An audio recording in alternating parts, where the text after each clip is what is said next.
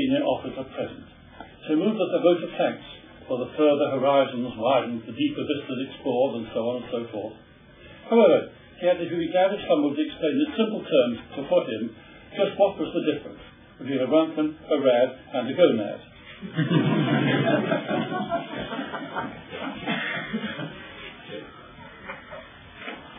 the possibility of having radioactive, tracers uh, prompts many in medical research to think what uses they could make of them. At the time, I was the only, the only person at UCH who knew anything at all about radioactivity and Geiger counters. Not much, but I learned quickly.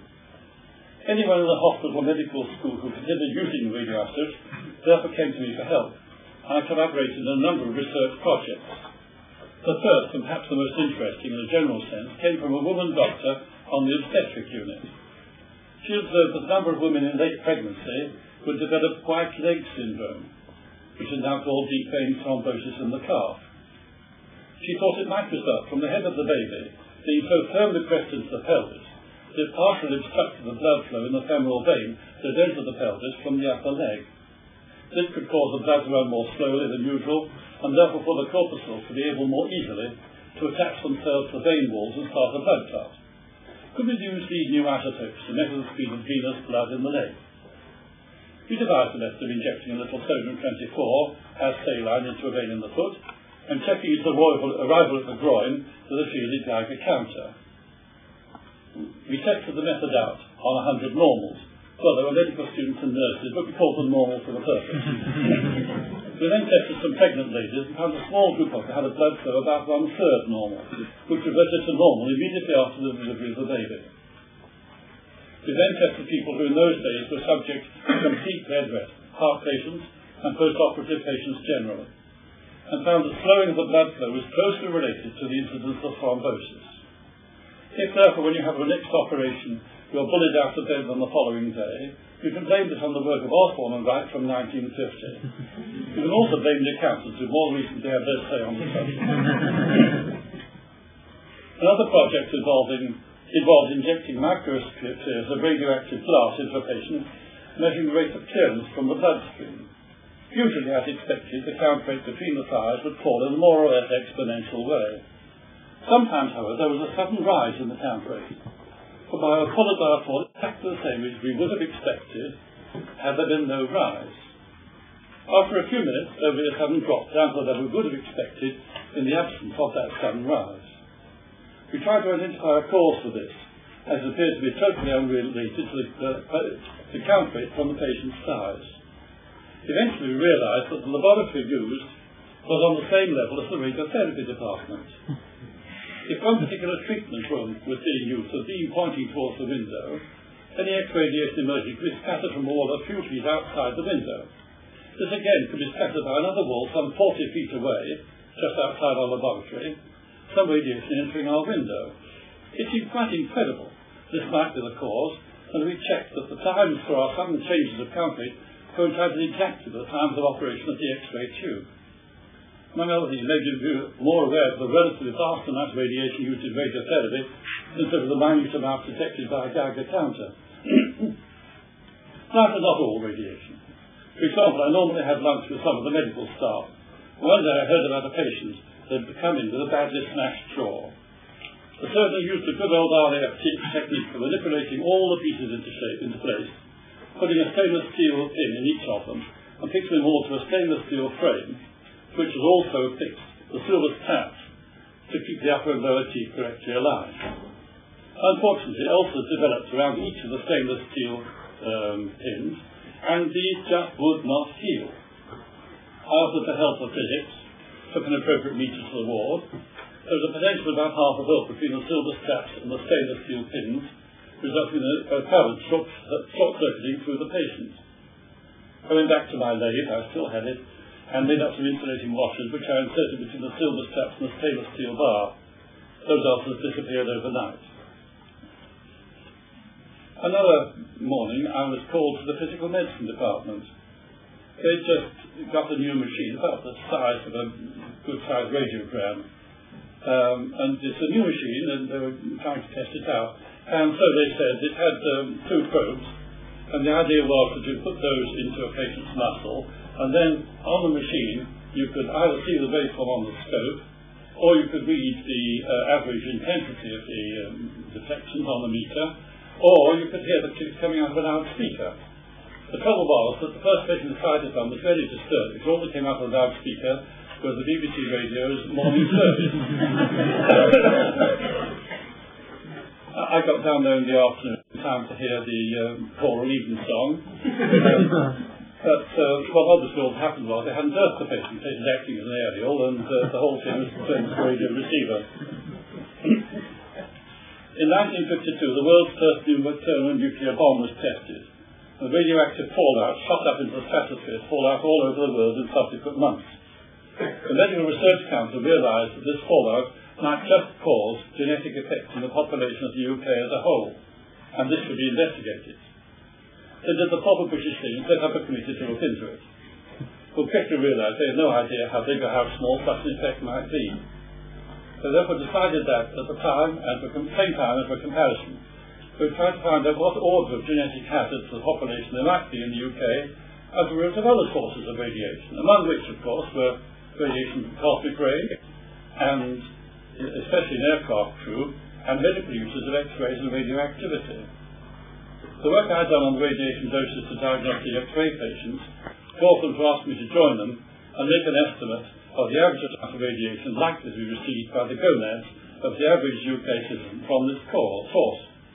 So it's little to go on, but I made an estimate which turned out to be for the same order of magnitude as that due to natural radioactivity. When the MRC report, it was debated in the House of Commons. Uh, there are few things more futile than scientific uh, report being discussed by the politicians. I was in the uh, gallery for the debate, and the one thing that's outstanding in my mind is that of a young red-headed woman on the Labour benches who was pestering the uh, minister for all sorts of things he couldn't possibly answer. Um, she was very well known Labour MP, who became minister and all that sort of thing later. Name of the name escapes me. Um, that's right, Barbara Castle, that's right, thank you. Sorry, you must forgive them. Uh, I'm going to get these down in my own time. I, I usually get them right. But memory is quite, you've got a short, uh, a short time constant otherwise. In reply to the debate, the Minister announced he was setting up a committee under the chairmanship of Lord Adrian, the Vice Chancellor of Cambridge University, to look into the radiological hazards to patients. This turned out to be quite a big operation. Social scientific work being run by Professor Spiers of Leeds, a member of the committee, Roy Ellis, then of the Middlesex Hospital, and myself. I had for some years realised I really needed to have a PhD. and It was clear this would provide the necessary material. I arranged with the Ministry of Health to write to UCH, asking them to release me sufficiently from my routine duties to carry out this work for the committee, which was accepted with great reluctance by UCH. In fact, a month for some year, I had a note from the uh, administrator asking how much long, how much time I was now spending on that confounded Ministry of Health project.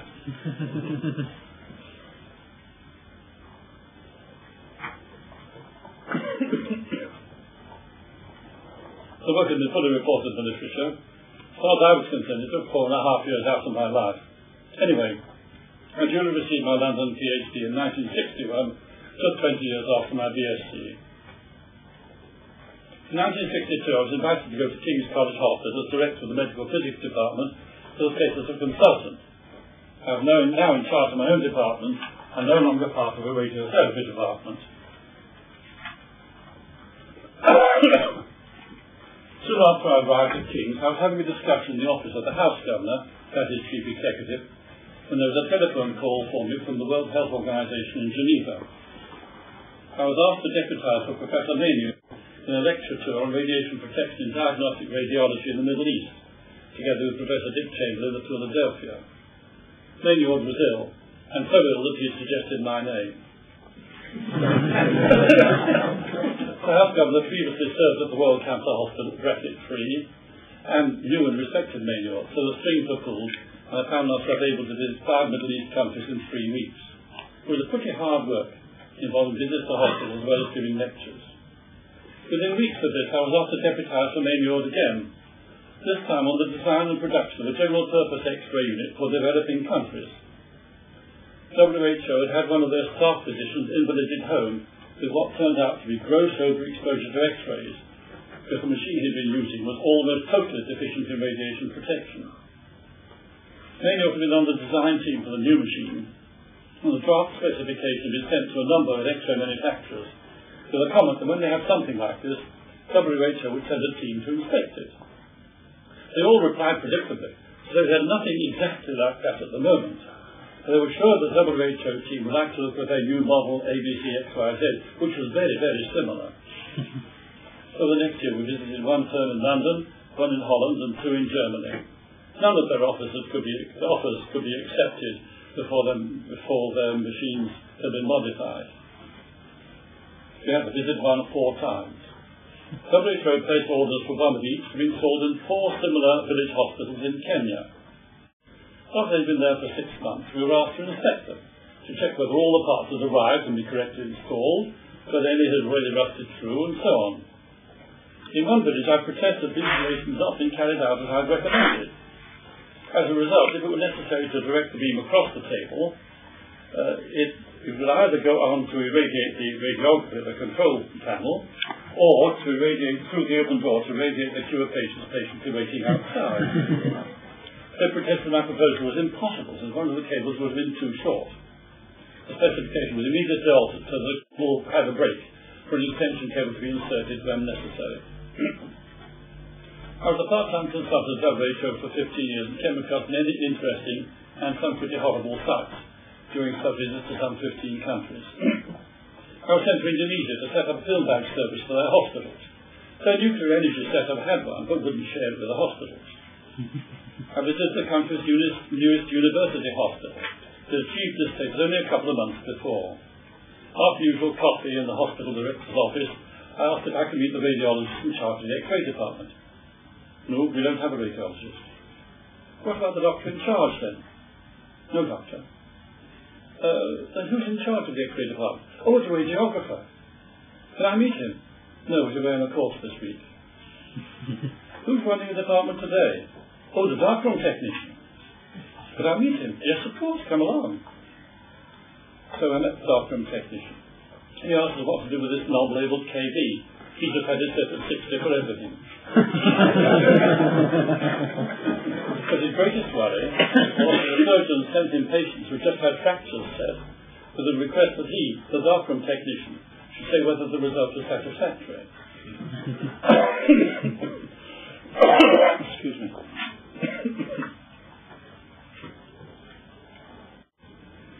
You may guess I don't do much lecturing these days. In due course, radioisotope laboratories have to set up handle radioisotopes safely in any hospital using them. I was called to a small hospital near King's one day because the cleaner had taken the bin marked radioactive do not empty and tipped it in with everything else. it didn't matter much that day because the lab had not been used for radioisotopes. But I was called in to prevent it ever happening again. I had a long talk with the cleaner. In getting nowhere, and she leant over confidentially and said, Of course, you know, I've never managed to read and write. uh, I've got a cartoon that shows what one um, cartoonist thinks mechanical hands in that sort of laboratory ought to be used for. Wrong one.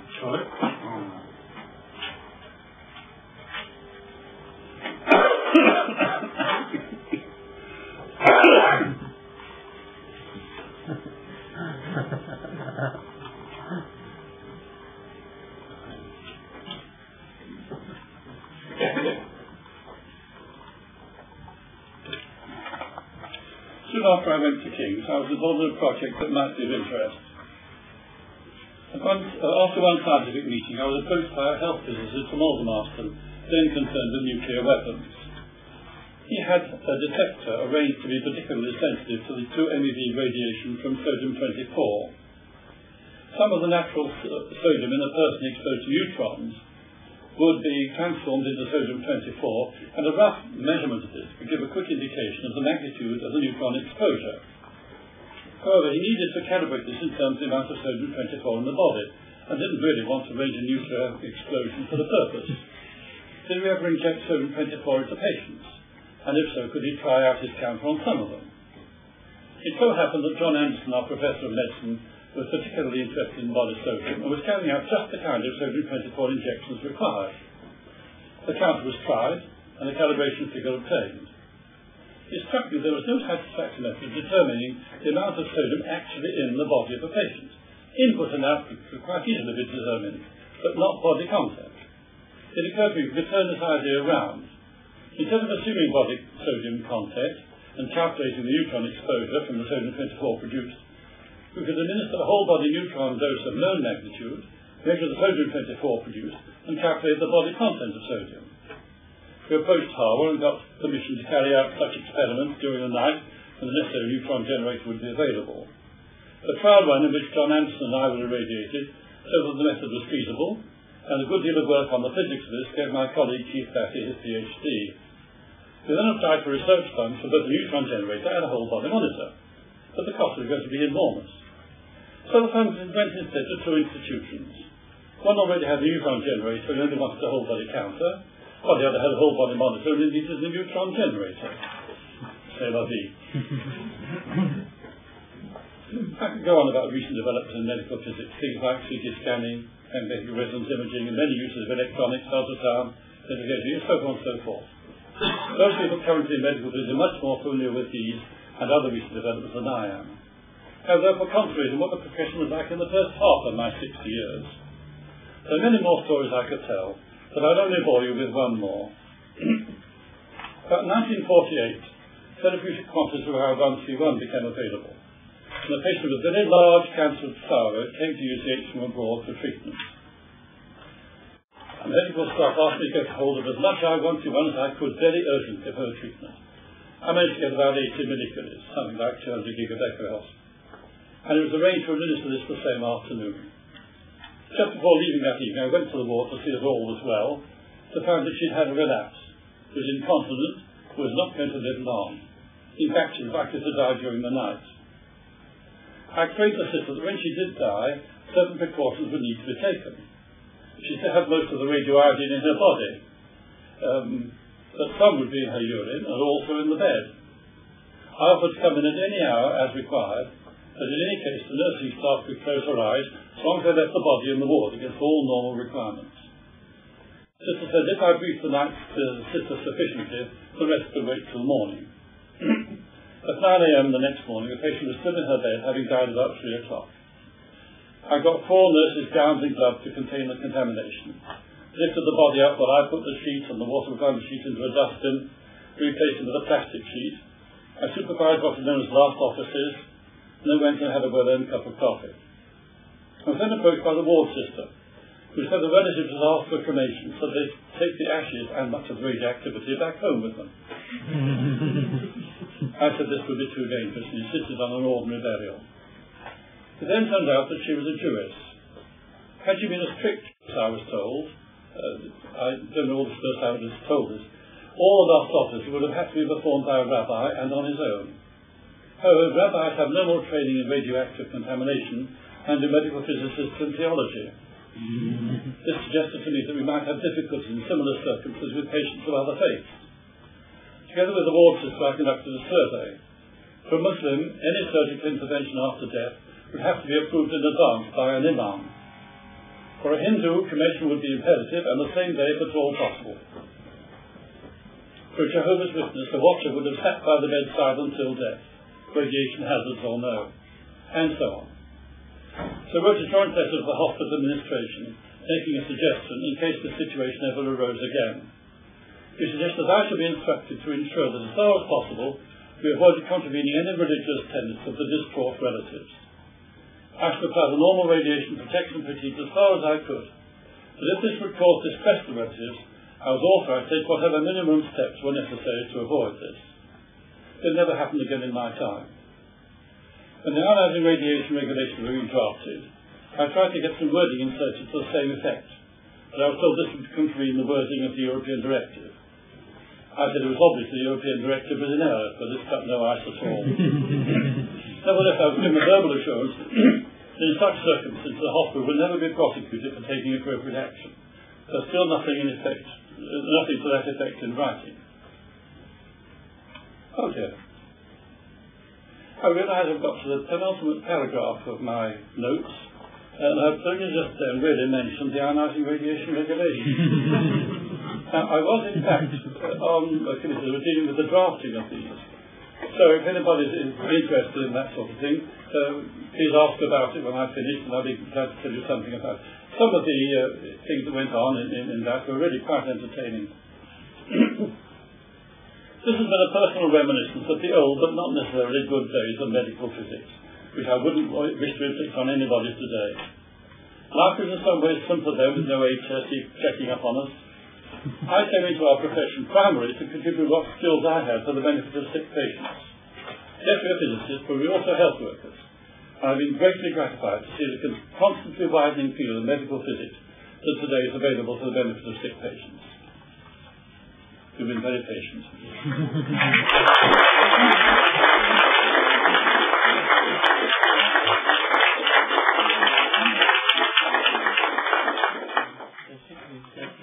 very happy to answer some questions.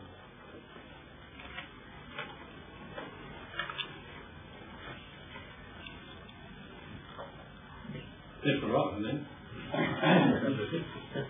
I would like to ask you a question. Uh, going back about maybe six or seven years ago in one of the hospitals in Birmingham, uh, I was asked to get involved with the decontamination of a room which was contaminated with radium. And that room was used for many years. Um, actually a, a, a, floor, a line of flooring and all the adjacent rooms again was used and that area was used for iodine therapy. And when I uh, was asked to get involved with it from radiation So, protection. can we hear at the back? I'm sorry, let's carry on. Yes, yeah, when, when I was involved in getting, uh, because I, I'm working in protection to get rid of the radium, um, we had uh, all the uh, environment agency inspectors and the health and safety executive all coming in and say, well, you have to decontaminate the area, get rid of all the radium. And I had, we had so much problem with that because to begin with, we have to quantify what is there in the floor. And of course, we then started to uh, do some digging. Uh, and what that we, discovered is that we have to take the line of flooring up, and uh, then below that you have parquet flooring, and then we have to take the parquet flooring up, and then below that you have the concrete, and some of the radiums go into the concrete. And of course, the inspectors came in and they started monitoring for contamination of all the daughters of radium, so looking at because of the air vents and they're all contaminated. And uh, we estimated to begin with that it make cost about uh, approaching maybe 100,000 pounds to begin with. And the inspectors were sort of uh, absolutely clear that yeah, you've got to quantify it, remove all the radium, pack them and send them for disposal to the National Disposal Service. And it was really difficult for us because we don't, the hospital didn't have the money, that kind of money to get rid of. And what then happened is that um, uh, we had a, to get a company in to dig it all up.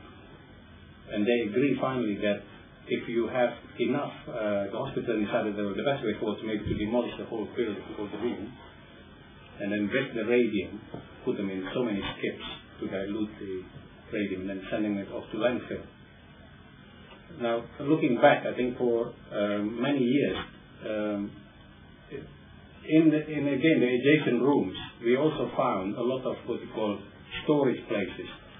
It's maybe going back to the wartime, you know, when they put radium in, in it for protecting against the bombs and all that. And we found that the, the work itself is so uh, laborious. You know, it's, it's really uh, incredible the amount of uh, time you spend on it, and again the cost that we, we got rid of it. We, we managed to get the cost down to about 50,000, I think.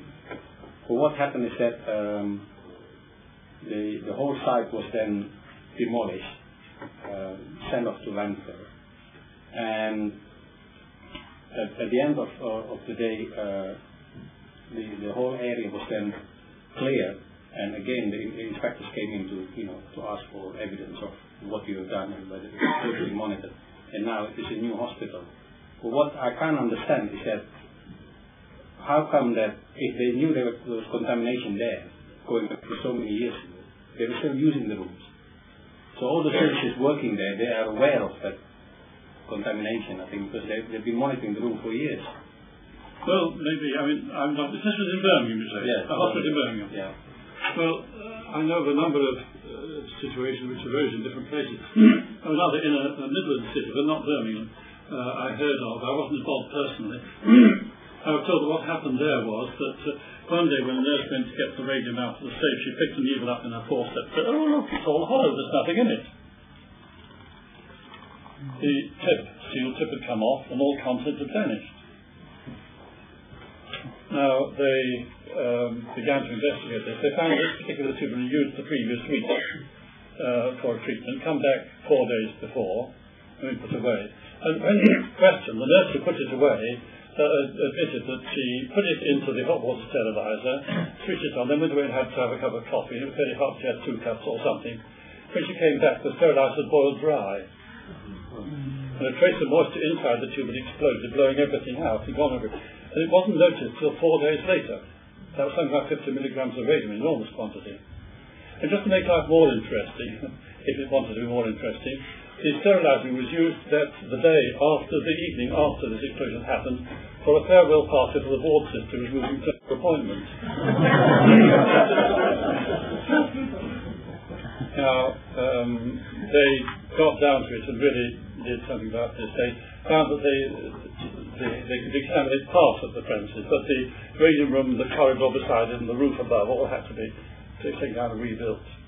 Um, all the people involved in that end of the hospital and in that party had to go 100 miles to the nearest whole body monitor, have body radium checked, and nobody shipped on board as much as the permissible body burden, mercifully. But um, yes, that's the sort of thing that, that happens. Um, but uh, people do go on using rooms which they know or think might be contaminated without bothering to check. I mean, I've met several instances of that. In fact, I'm told there are several places in London where a factory that had luminous paint was bombed, and you can still detect the radium if you know the right place to go and look for it. Um, so it's, uh, it's, not, it's not easy to get rid of radium, actually, if you want to. It was very difficult because they had to dig the whole floor. Exactly, exactly. Yeah. Do you know where all that radium is now that was used in the UK? Where is it? I don't know. Do you know, Paul? No, no. I've tried to find out. Anybody can help on board this. You know where all the radium the hospital used to use is now gone. No, sorry, can't help. no, I, I tried to get contact with RPV, but they, they suspected that I was a terrorist.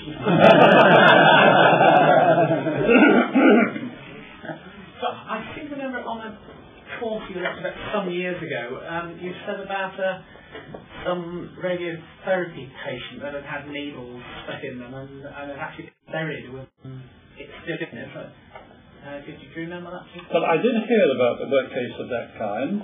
This was, I'm told, before the war. Um, I'm told the story was something like this, that the um, the, the patient, um, for some reason, they wanted to take the needles out um, a bit early from the, from the, from the, from the treatment time. But the patient objected vigorously. And said, no, we really must have to give her a operation. No, no operation. The patient discharged herself. Um, so the hospital got in touch with the GP, but the GP couldn't give any impression. But of course, she died not awfully long after that. Uh, and they couldn't do anything other than allow the radium to be buried in one of London's cemeteries. I don't know which cemetery, but uh, I'm told it's still there.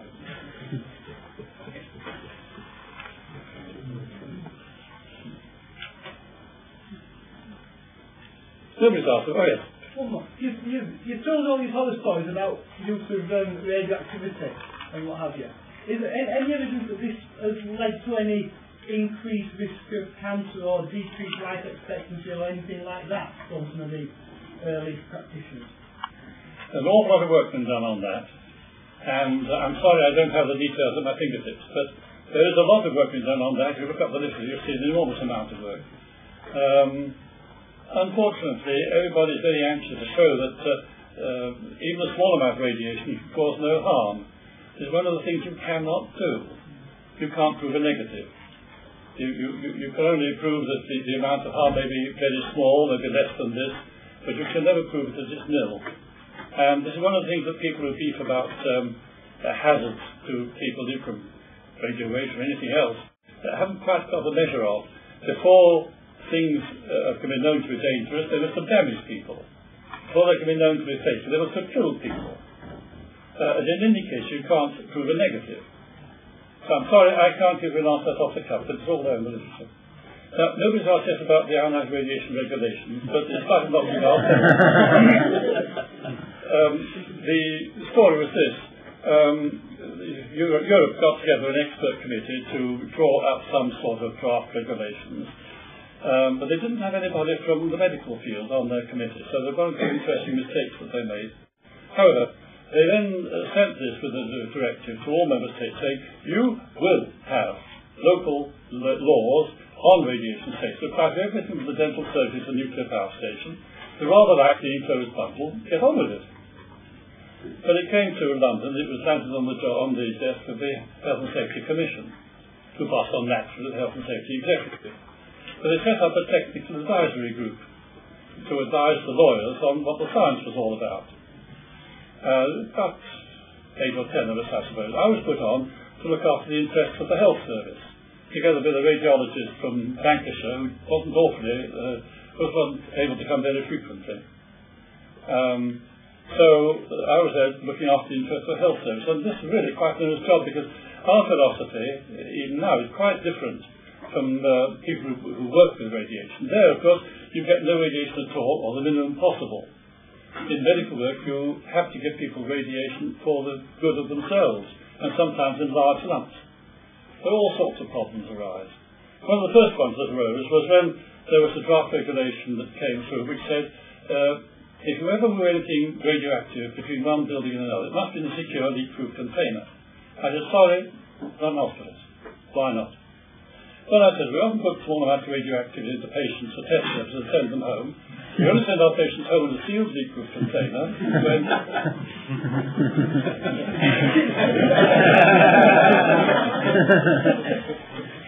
the, one of the chaps on this small group was in fact